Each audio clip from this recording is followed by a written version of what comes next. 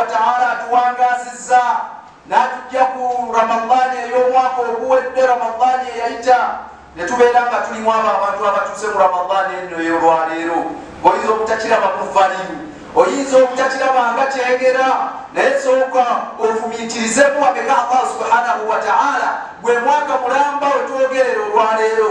Okuva ku ramadaani eyayita paka olwaleero allah bameka booziise ku bijja ebyewammwe gyoziise mu mikwano gyo betuziise enkoomwe kale oyinza okuba yonna tolina gyoziise naye bameka allah subhanahu wataala bajjuludde tuli ku northern bypass.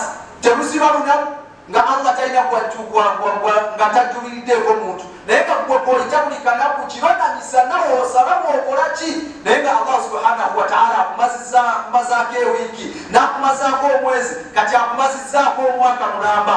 Okuva wetwali ku ramadaani eri paka ramadaani eno yolwaleero.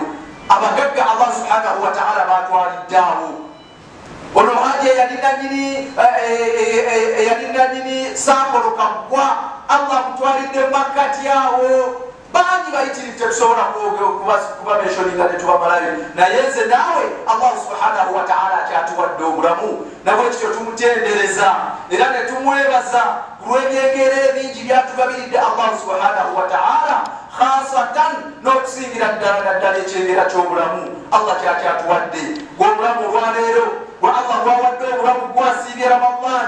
Allah gwawadde obulamu gwakyasobola okwongera ku mirimu gyo allah gwatuusiza mu ramadan emikisa giri kikumi ku ginnaakyo okufuluma ramadan eno nga allah subhanahu wataala akusonyiye. Naye yafa nga tayingidde ramadan byeyagenda nabyo byebyo.